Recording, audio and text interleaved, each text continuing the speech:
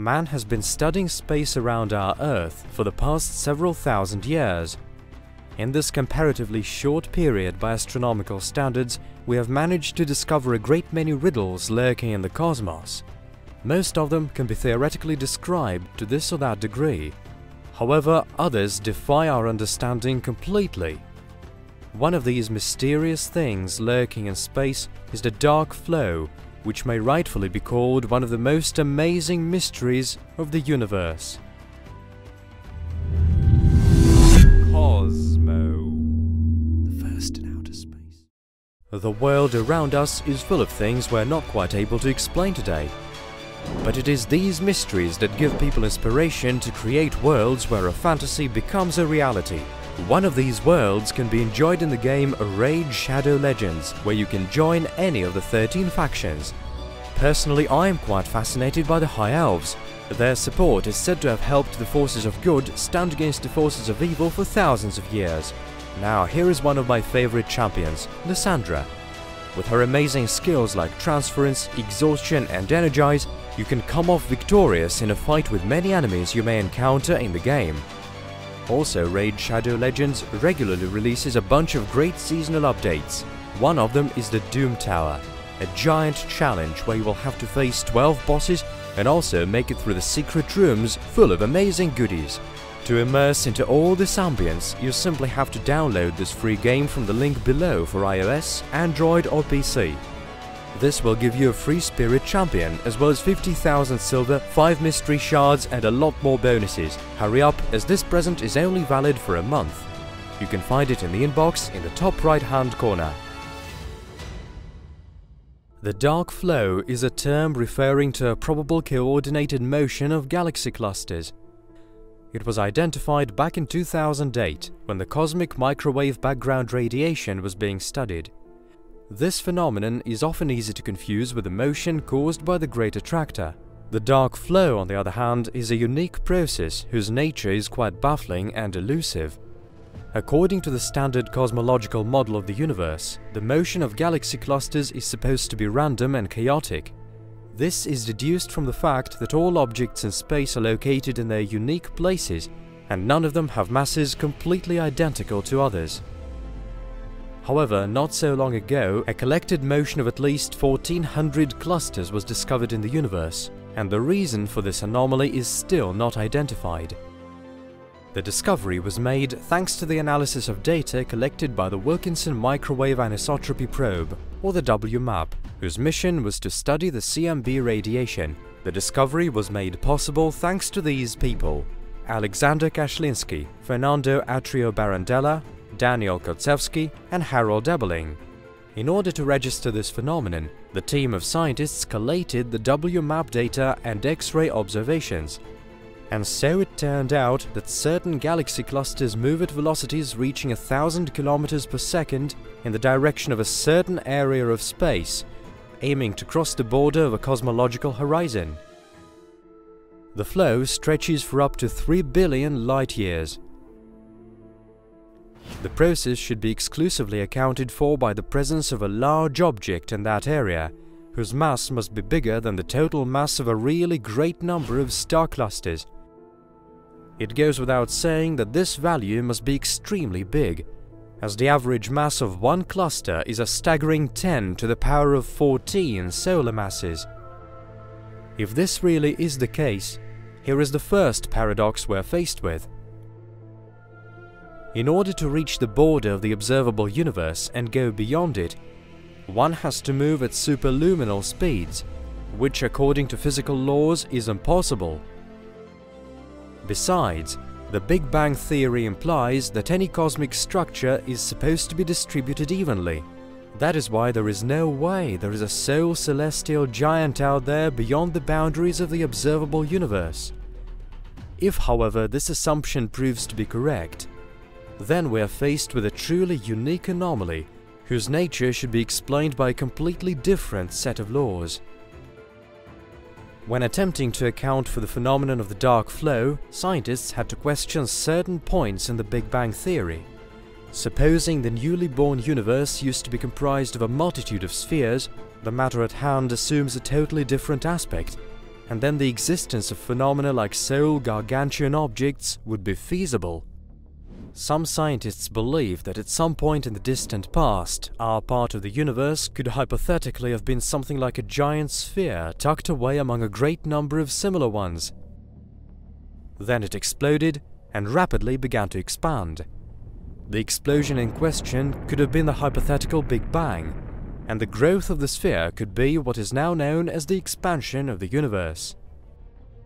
According to a few finer points of the same theory, the former sphere, that is our part of the universe, has not lost all of its former properties and continues to interact with other universes, the latters being of the same shape.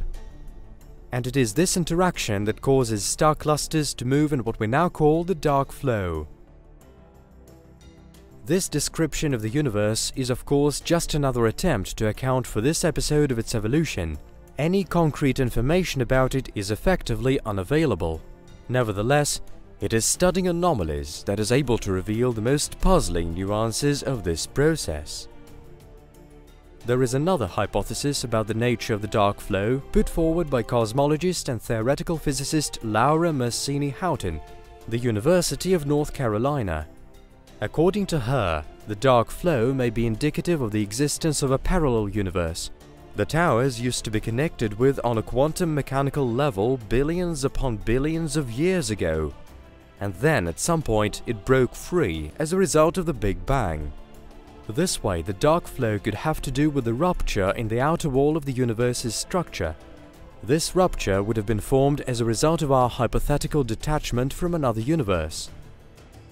And as for the dark flow itself, what we see is matter flowing through the rupture. Unusual as it is, even though this hypothesis may not be supported by all astrophysicists around the world, at least the possibility of the existence of something out there beyond our understanding of the universe's laws isn't dismissed as too fanciful or incorrect.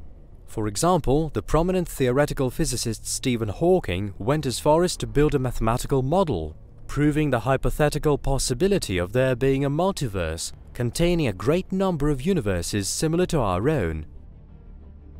But in order to find out in which of the proposed hypotheses its author is likely to have hit the nail on the head, we have our work cut out for us. First, we must define what all space around us is made of. There are two basic principles regular cosmological models are based on. The universe is isotropic, that is, it has been developing in all directions and must have a spherical shape, if any at all. And it is homogeneous, that is, it has no directions or shape. Isotropy means uniformity in all orientations, while anisotropy means that properties vary with the direction from which they are measured. As for homogeneity, it means uniformity from point to point in space. It could be illustrated in the following way.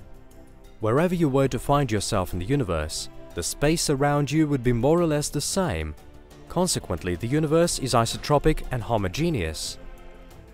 However, if on your journey through the universe you were to bump into a great body of matter moving in some direction or other, this would mean that some parts of the universe are anisotropic.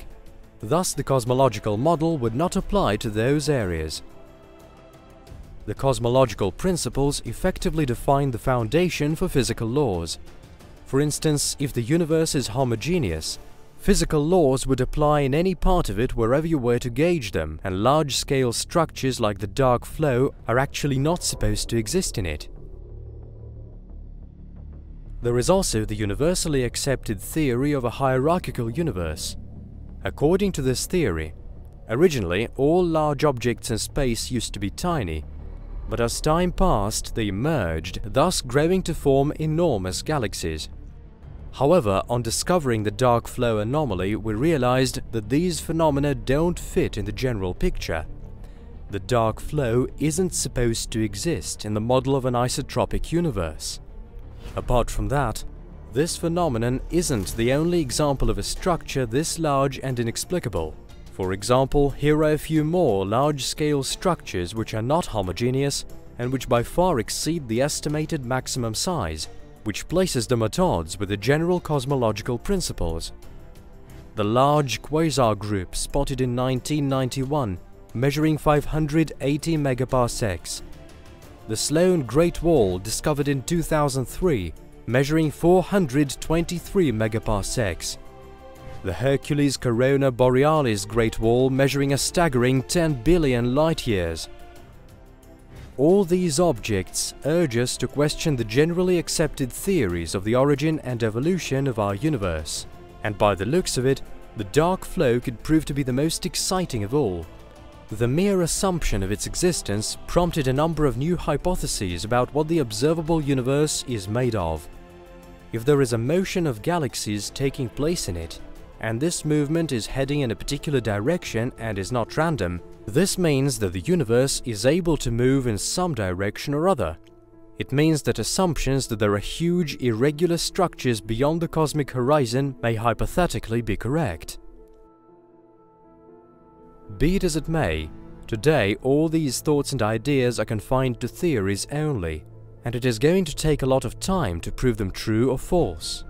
But even if the dark flow becomes a common truth, it is a foregone conclusion that it will only spawn a new panoply of riddles.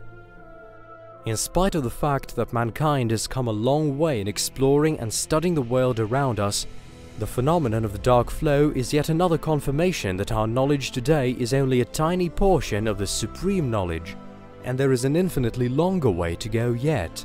Until only recently, people used to believe that the basic principles of the universe are the irrefutable truth. Today, however, with every new anomaly discovered in outer space, this idea is becoming less and less convincing. And for all we know, the new generations may well perceive the universe in a completely different way.